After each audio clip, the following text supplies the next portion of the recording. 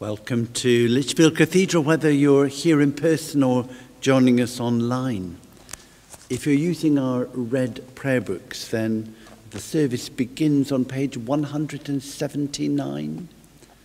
And the psalm for today is Psalm 102, which you'll find on page 798. 798. Today, the church celebrates the feast of St. Swithin, Bishop of Winchester in the ninth century. O God, make speed to save us. O Lord, make haste to help us. Blessed are you, Lord God, creator of day and night. To you be praise and glory forever. As darkness falls, you renew your promise to reveal among us the light of your presence. By the light of Christ, your living word, dispel the darkness of our hearts, that we may walk as children of light and sing your praise throughout the world. Blessed be God, Father, Son, and Holy Spirit. Blessed be God forever. That this evening may be holy good and peaceful, let us pray with one heart and mind.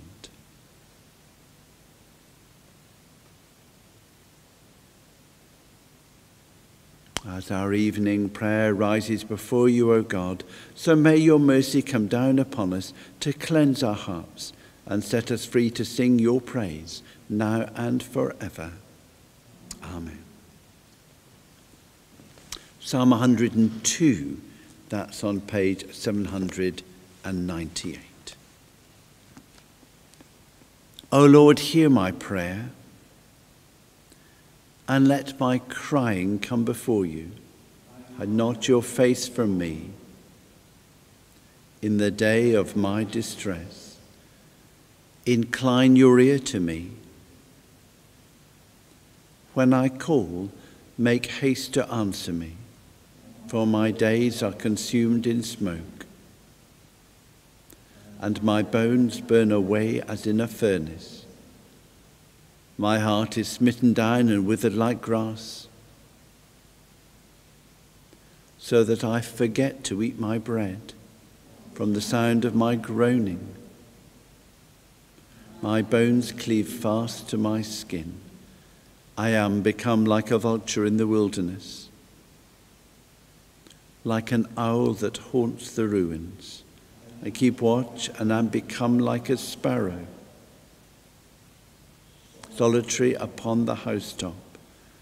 My enemies revile me all the day long, and those who rage at me have sworn together against me. I have eaten ashes for bread and mingled my drink with weeping because of your indignation and wrath. For you have taken me up and cast me down. My days fade away like a shadow, and I am withered like grass. But you, O Lord, shall endure forever, and your name through all generations. You shall arise and have pity on Zion it is time to have mercy upon us. Surely the time has come, for your servants love her very stones and feel compassion for her dust. Then shall the nations fear your name, O Lord, and all the kings of the earth your glory, when the Lord has built up Zion and shown himself in glory when he has turned to the prayer of the destitute and does not despise their plea. This shall be written for those that come after. And a people yet unborn shall praise the Lord, for he has looked down from his holy height. And from the heavens he beheld the earth, that he might hear the sighings of the prisoner and set free those condemned to die, that the name of the Lord may be proclaimed in Zion, and his praises in Jerusalem, when the peoples are gathered together,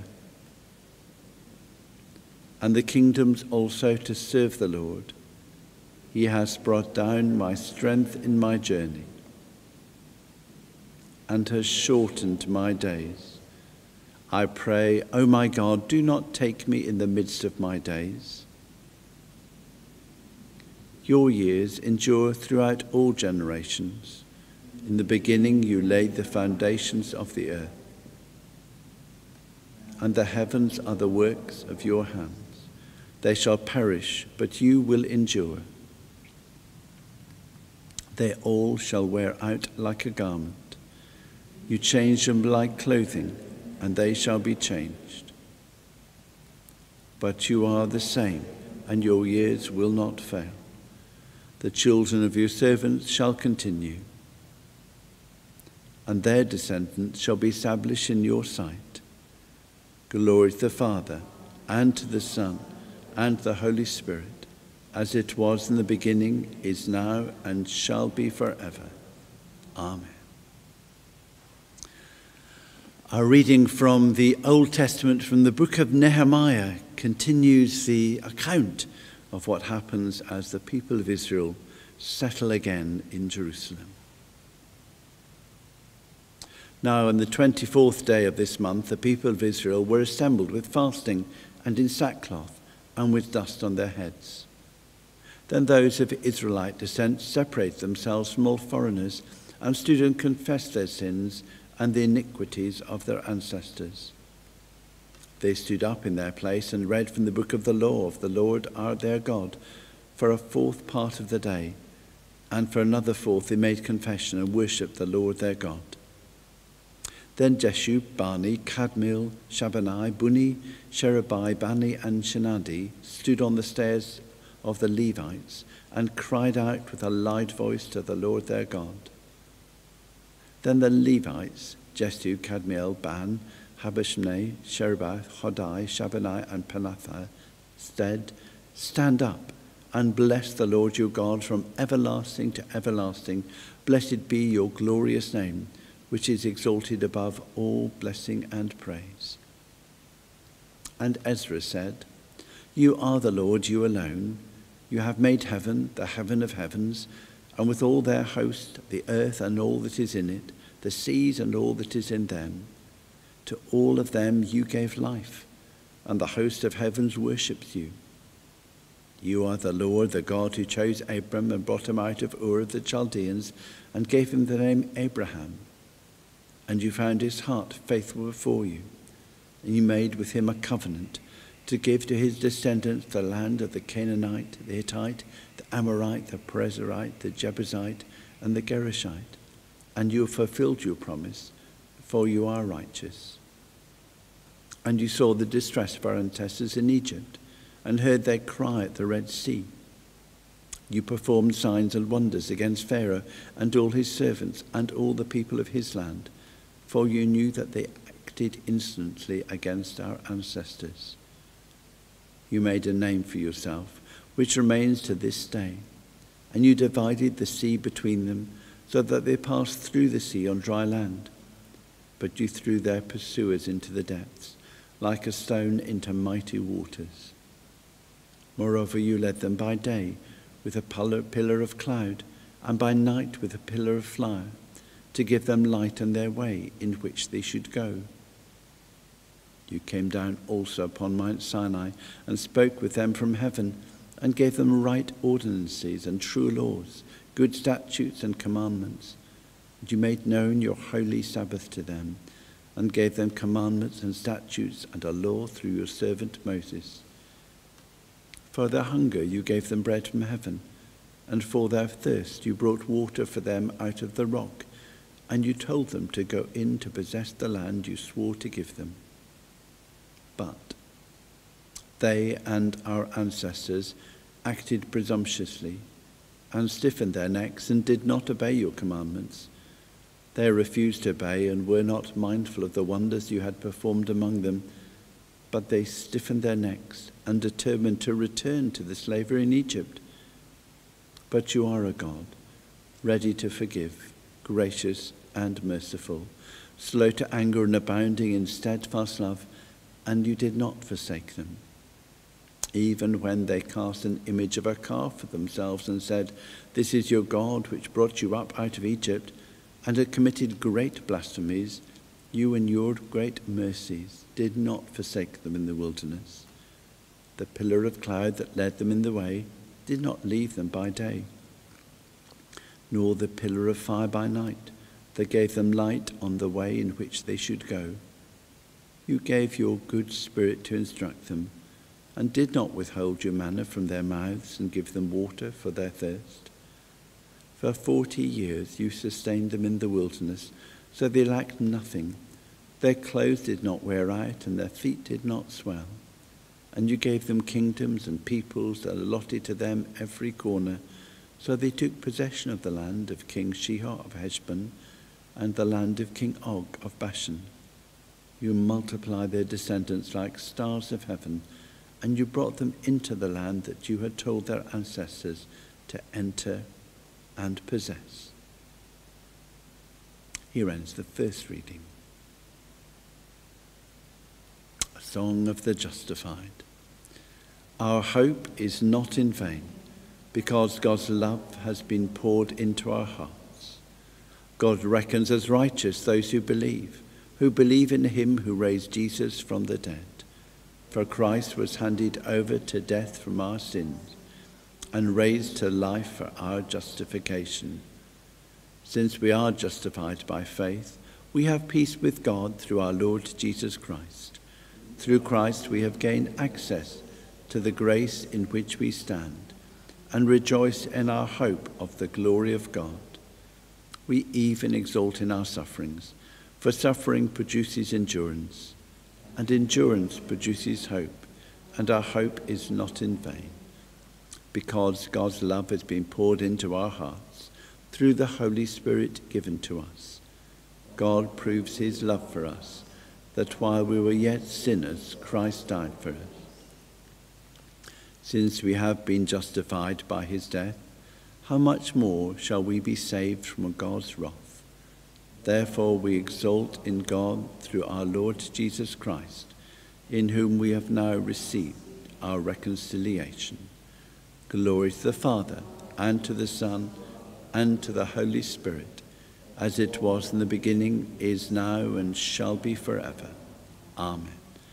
Our hope is not in vain, because God's love has been poured into our hearts.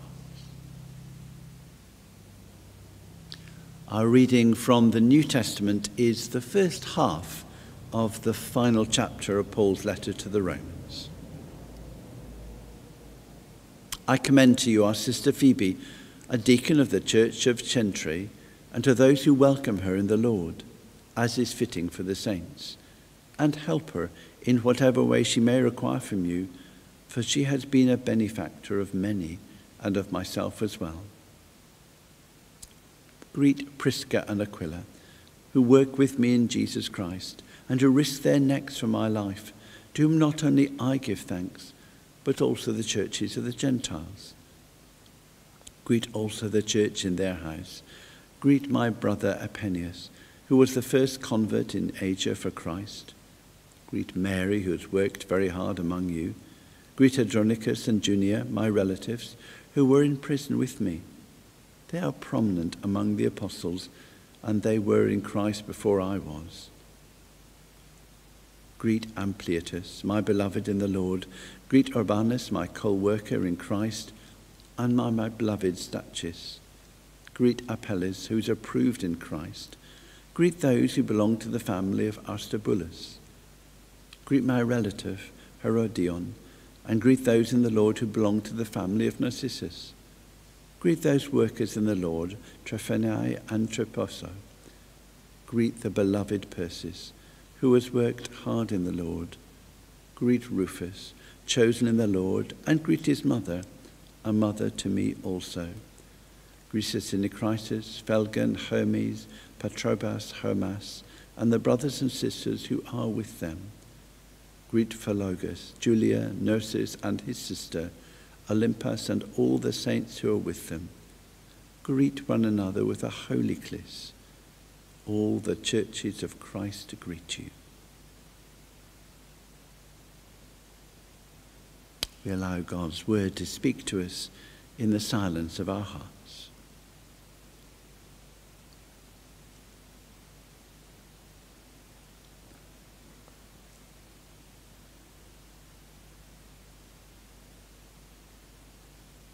So our responsory.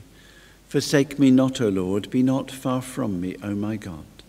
Forsake me not, O Lord, be not far from me, O my God. Make haste to help me, O Lord of my salvation. Be not far from me, O my God. Glory to the Father, and to the Son, and to the Holy Spirit. Forsake me not, O Lord, be not far from me, O my God. Well done, good and faithful servant. You have been faithful over a little. I will make you ruler over much. My soul proclaims the greatness of the Lord. My spirit rejoices in God my Saviour. He has looked with favour on his lowly servant. This day all generations will call me blessed. The Almighty has done great things for me, and holy is his name. He has mercy on those who fear him from generation to generation, has thrown strength with his arm and scattered the clouds. Casting down the mighty from their thrones and lifting up the lowly, he has filled the hungry with good things and sent the rich away empty. He has come to the aid of his servant Israel to remember his promise of mercy, was made to ancestors to Abraham and his children forever. Glory to the Father, and to the Son, and to the Holy Spirit, as it was in the beginning, is now, and shall be forever. Amen. Well done, good and faithful servant. You've been faithful over a little. I will make you ruler over much. So we bring our personal prayers to our Father in heaven. We thank you, God, for the Lichfield Festival, for all the celebrations that have already happened in this cathedral church, and for this final weekend. We pray that all those who have been inspired by beauty, awe, wonder, music, poetry, words that have spoken into their hearts, may find that word be a word that leads them closer to you. Lord, hear us. Lord, graciously hear us. Thank you, Lord, for all who at the end of this week are grateful for the work they've been able to do, for the way they feel they've contributed to their well being of others around. And we pray for those, Lord, who during this week would have made a contribution had they had the opportunity, but were denied that or those who, although they had the opportunity to be working, found that of no fulfillment and no joy. Grant, O Lord, in whatever we do, that we might find ways to transform our work with your grace to your glory. Lord, hear us. Lord, graciously hear us. Thank you, Lord, for those who are called at this time to exercise great statesmanship among the nations. For President Biden and all those who, along with him, have been seeking some way in which the conflict in the land that is named holy might come to some just end. For those who carry with themselves that opportunity to speak into the situation in Ukraine there might be peace, there might be justice. And for those in our own nation who seek that office of being our Prime Minister, that they might be transformed by the conversations of which they are part. They might listen to those who speak around them. They might discover a renewed vocation to be the servant of all and to seek in particular the welfare of those who are most vulnerable, both in this land and throughout this our world. Lord, hear us. Lord, graciously hear us. And grant, O Lord, that in the thoughts and prayers and concerns of our own heart for those who are particularly close to us, that there might be for them that awareness both of our love and of your presence. Lord, accept these and all the prayers of our hearts through your Son, our Saviour, Jesus Christ. Amen. Almighty God, by whose grace we celebrate again the feast of your servant Swithin, grant that as he governed with gentleness the people committed to his care, so we, rejoicing in our Christian inheritance, may always seek to build up your church in unity and love.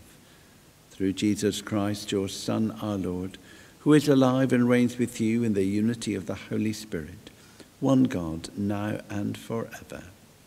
Amen. As our Saviour taught us, so we pray.